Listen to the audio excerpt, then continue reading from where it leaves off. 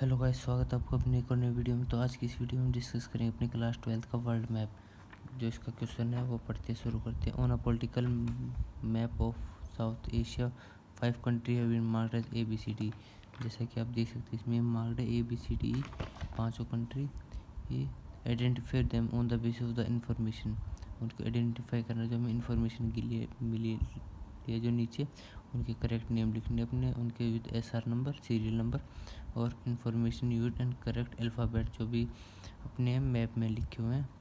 तो अपना जो है, हम ऐसी टेबल बना लेंगे। सबसे पहले S R number serial number alphabet उसके बाद नेम ऑफ़ कंट्री उसके बाद आ जाते हैं नीचे। क्वेश्चन पढ़ते हैं। Important country but it is not considerable to be part of South Asia तो इसमें अपने आ जाते हैं ये मैप जिसमें कि सबसे पहले ए ए पे नेपाल, बी पे चाइना, सी पे मालदीव्स और डी पे श्रीलंका, ई पे बांग्लादेश।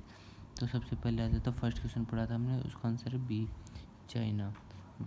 तो उसके बाद हमें लिखना सबसे पहले बी और उसका आंसर चाइना।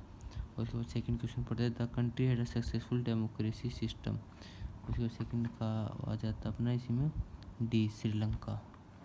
तो उसके बाद हम जो है यहाँ पे डी लिख के श्रीलंका लिख देंगे, उसके बाद third question the country has वो सिविलियन एंड मिलिट्री रूल और मैप देखते हैं अपना थर्ड का है अपना, ई बांग्लादेश। और उसके बाद यहाँ पे बांग्लादेश लगते हैं और फोर्थ क्वेश्चन पढ़ते हैं।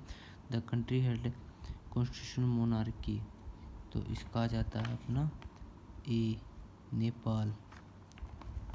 नेपाल, यहाँ पे नेपाल लिखते हैं और उसके बाद लास्ट क्वेश्चन पढ़ते हैं। An island nation which is sultanate till 1968 island आ गया तो आइसलैंड इसमें से अपना एक ही था, जो कि था मालदीव्स, यानी कि सी तो अपनी जो है, उसके बाद ऐसी कुछ अपनी टेबल बन जाती है तो यही करेक्ट फॉर्मेशन है अपनी मैप की क्लास ट्वेल्थ के लिए।